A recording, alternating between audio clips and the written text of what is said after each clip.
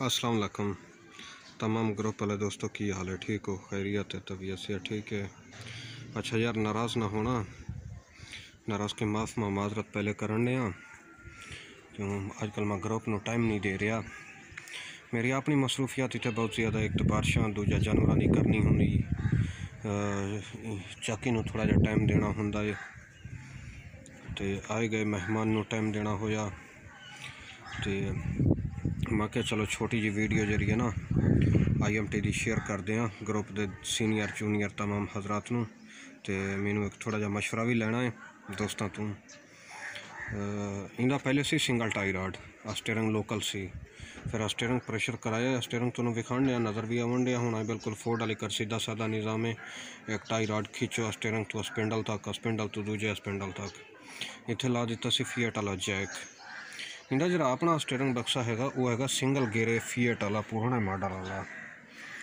ਇਹਨੂੰ ਬੰਦਾ ਜਿੰਨਾ ਵੀ ਤਿਆਰ ਕਰਾਏ ਨਾ, ਇਹਦੀ ਪਲੇ ਨਹੀਂ ਖਤਮ ਹੋ ਸਕਦੀ। ਮੇਰਾ ਸ਼ੌਕ ਹੈ ਇੱਥੇ ਜਿਹੜਾ ਇਹਨਾਂ ਰੱਖਦਾ ਵੀ ਹੈ ਫੀਟ ਵਾਲਾ ਸਟੀਅਰਿੰਗ ਬਕਸਾ। ਫੀਟ ਵਾਲਾ ਸਟੀਅਰਿੰਗ ਬਕਸਾ ਸਾਨੂੰ ਉਲਟਾ ਕਰਕੇ ਰੱਖਣਾ ਪੈਣਾ, ਕਿਉਂਕਿ ਇਹਦਾ ਟਾਈ ਰਾਡ ਸੱਜੀ ਸਾਈਡ ਤੇ ਹੈਗਾ ਫੀਟ ਦਾ ਹੁੰਦਾ ਖੱਬੀ ਸਾਈਡ ਤੇ। ਤੇ ਇਹ ਮੈਸੀ ਹੋਏ ਜਾਂ ਫੀਟ ਹੋਏ ਨਾ, ਉਹਨੂੰ ਜਾ ਕੇ ਸਪਿੰਡਲ ਦੇ ਥੱਲੋਂ ਲੱਗਦੀਆਂ ਨੇ, ਥੱਲੇ ਟੇਪਰਾਂ ਉਸ ਜਗ੍ਹਾ ਤੇ। ਆਖਰ ਤੇ ਉਹ ਫੁੱਲ ਕਟਾਈ ਨੂੰ ਜਿਹੜਾ ਨਾ ਜਾ ਕੇ ਛਲਦੀਆਂ ਨੇ।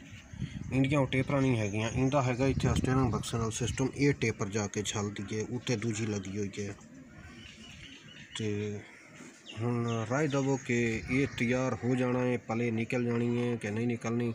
ਮੈਂ ਤੇ ਜਿੰਨੇ ਵੀ ਖਰਾਦੀਆਂ ਨਾਲ ਮਸ਼ਵਰਾ ਕੀਤਾ, ਉਹਨਾਂ ਨੇ ਕਿਹਾ ਤੂੰ ਇਹ ਕੱਢ ਦੇ, ਤੂੰ ਲਿਆ 265 ਦਾ। 265 ਤੋਂ ਜ਼ਿਆਦਾ ਬਿਹਤਰ ਹੈ ਫੀਟ ਦਾ। ਮੇਰੀ ਤਾਂ ਇਹੀ ਰਾਏ ਹੈਗੀ। ਹੁਣ ਤੁਸੀਂ ਗਰੁੱਪ ਵਾਲੇ ਦੋਸਤ ਕੀ ਰਾਏ ਦਿੰਦੇ ਹੋ?